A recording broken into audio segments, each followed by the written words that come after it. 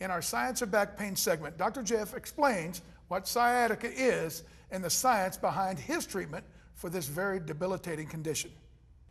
Between the head and the hips, 24 vertebrae. Between each vertebrae, there's a disc.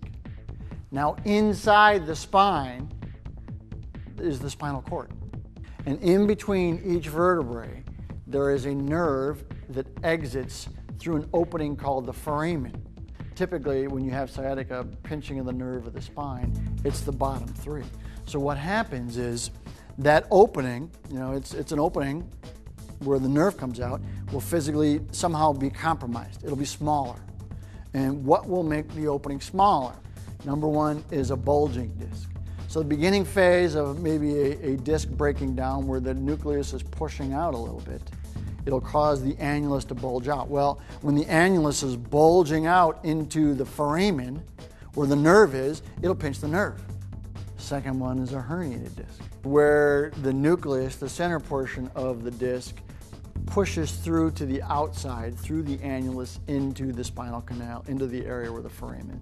That tends to be more advanced. The nucleus acts like a battery acid on the nerve and lights up that nerve, and you'll feel it. And that's the intense burning pain that goes down your leg.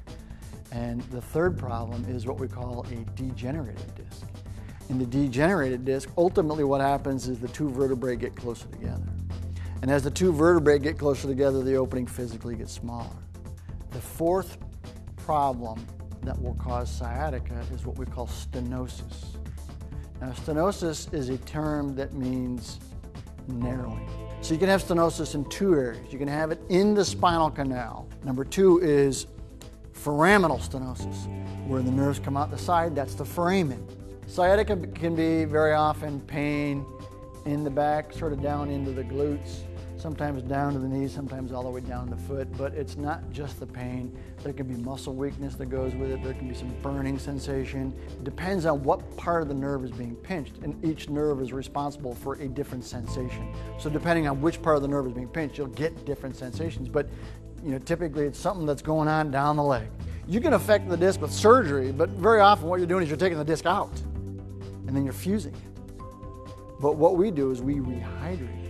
Our goal with our treatment is to take pressure off the disc.